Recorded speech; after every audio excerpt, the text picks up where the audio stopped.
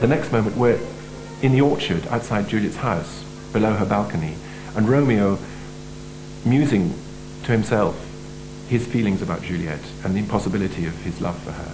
And then Juliet's appearance on the balcony and her timid approach and the first very tentative exchanges of love and the expression of love.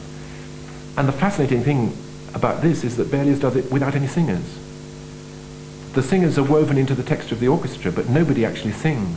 Yes, you can hear Romeo's voice in the tenors of the orchestra, in the, in the cellos and in the violas, and you can hear Juliet in the woodwind instruments, the, the, the cor anglais and, and the flute, and the oboe to some extent.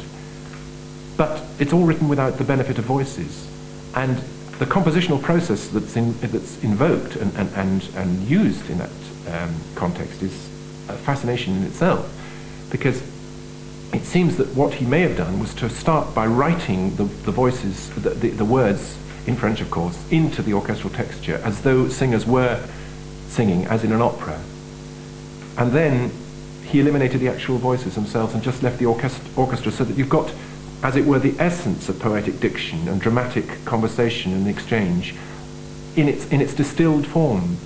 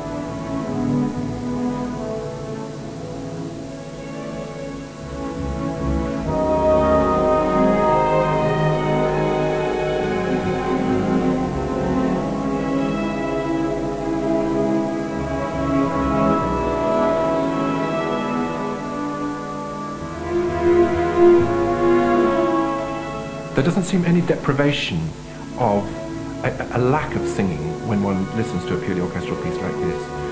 The essence of the thing is already there, and when the cellos play a recitative, as it were, which represents Romeo expressing his absolutely impossibly burning, ardent love for Ju Juliet, which can never be consummated. It seems to have even greater poignancy by the fact that it doesn't have the distraction of the human voice.